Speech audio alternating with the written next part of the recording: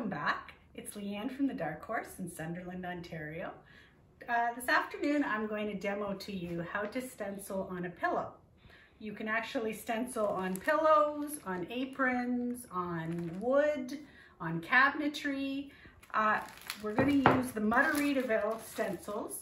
These stencils are made in Ontario. They're very high quality. They're 10 mil mylar. So that's a little bit stronger than a lot of the stencils you get. There's two bonuses to that. One, they're gonna last a lot longer. You'll actually get years of use. I've been using some of my stencils now for six years. The other thing is because they're a little thicker and firmer, they're also gonna stay in place and make it easier for you to have a successful stencil.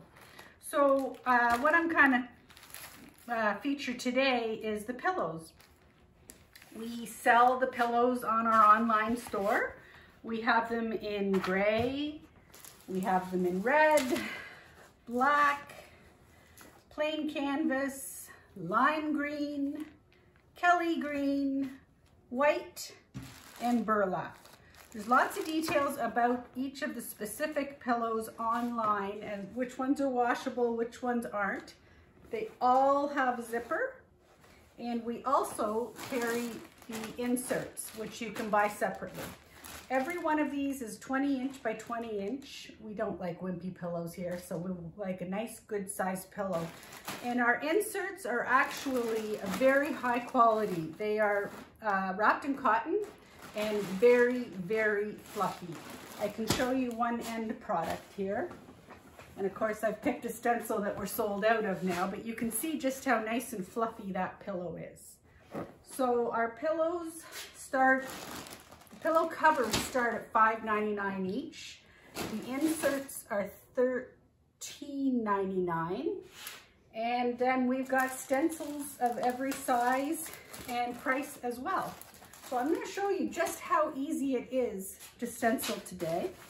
Uh, whenever I'm teaching, which goodness knows when that's going to happen again with COVID, the very first thing I teach everybody is zipper down. Okay, so when your pillow is done, you want your zipper down. So you want zipper down and your stencil up. When you are starting and you're just learning, the other thing that I will often recommend is just practice on a piece of paper to start with. You don't have to practice on your $8 pillow. You can grab a piece of craft paper, a piece of printer paper. You can just lay it down. Practice on that a couple times until you get comfortable. So we're just gonna lay it down, zipper down.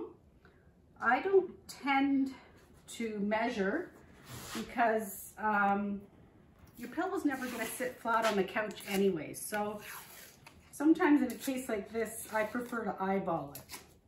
So I'm just gonna get some painter's tape. And just tape it down in a few spots.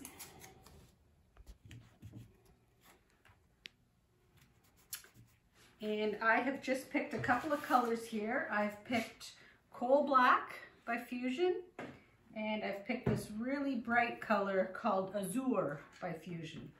If you're using Fusion mineral paint, it is 100% waterproof. So you do not have to heat set this. You don't have to do anything.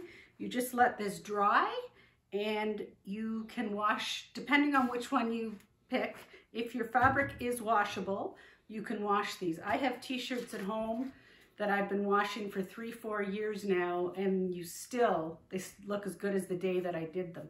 So Fusion is washable. Some other paints and inks um, are not, or some are, but they have to be heat set first. Fusion does not have to be heat set first. So I'm gonna do this, Norm, if you wanna zoom in a little bit, you can see with this particular pattern, I am going to uh, do the laurel wreath in one color and I'm going to do the word in another. So I'm just going to put a little mark wherever I think that that's just getting too close for me.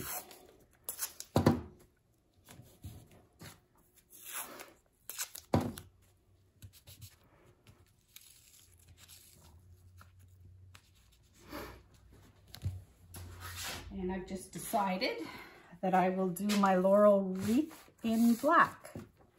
So when you're stenciling, less is more. You're really not painting, you're dry brushing. So I loaded my brush up and then I'm gonna take most of it off. The reason for this is you don't want your paint to bleed under your stencil, okay? And then we're just gonna pounce.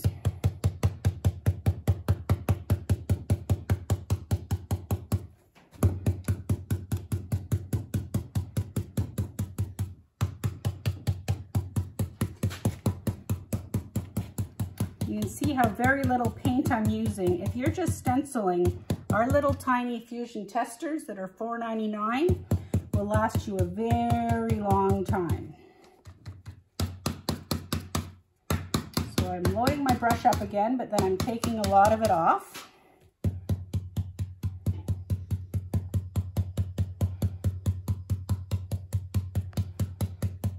The other thing when you are stenciling is no peeking.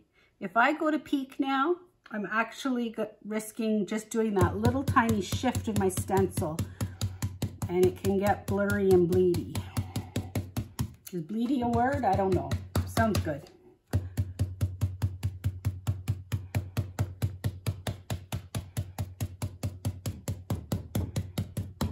So I'll step back, have a little look, if you, if you weren't sure, you can go back over. Two light coats is always better than one heavy coat, but I think this is pretty good.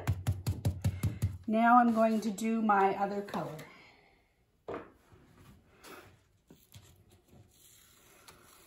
So now I'm going to move my tape so that I don't go over the black.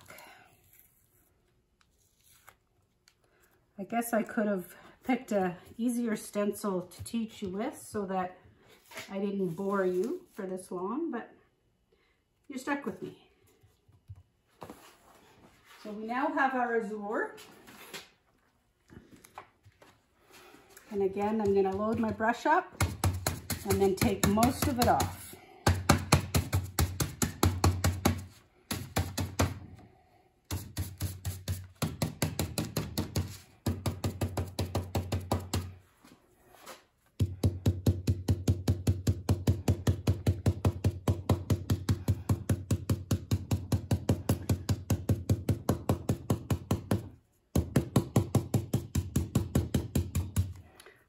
Oftentimes when people are just starting to stencil that I they do this. You're not going to get any paint off. I want to hear it. So less paint on the brush, but a lot more effort. As I say, just think of that jerk that cut you off this morning while you're stenciling and give it a good pounce. Get your frustrations out.